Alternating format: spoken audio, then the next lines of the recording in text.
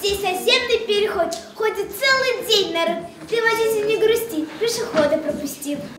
Зачем вообще нужны дорожные знаки, эти ребята знают лучше любого взрослого. В пятой школе муниципальный этап марафона творческих программ по правилам дорожного движения. Участвуют 8 команд из образовательных учреждений города.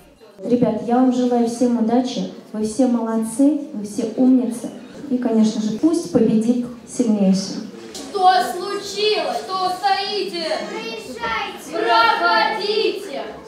Такая путаница на дорогах – не редкость. Правила существуют как для водителей, так и для пешеходов. Задача участников марафона – доходчиво донести до зрителей правила дорожного движения в виде игры. Артистизм, гармоничность, раскрытие темы и идеи, творческая оригинальность и правильность речи – вот из чего складывается результат выступления.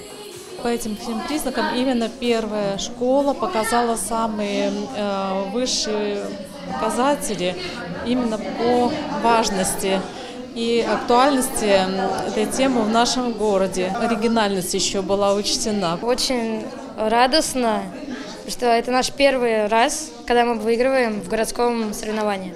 Первая школа, первое выступление и первое место. Уже 7 ноября в Долгопрудном ребята-победители покажут свои знания и таланты на зональном этапе марафона.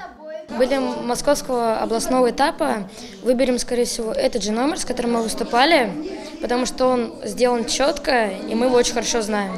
Марафон проводится ежегодно по Московской области и состоит из трех этапов – муниципальный, зональный и областной. В этом году очень хорошо подготовились команды. А, видно работу педагогов, которые работали с детьми. Э, очень продуманные сценарии хорошие и э, подобрали детей таких артистичных. Выступления ребят показали, что изучение правил поведения на дорогах может быть интересным, увлекательным, а главное – ответственным делом. Ольга Мариничева, Владимир Безлепкин. Программа «День за днем».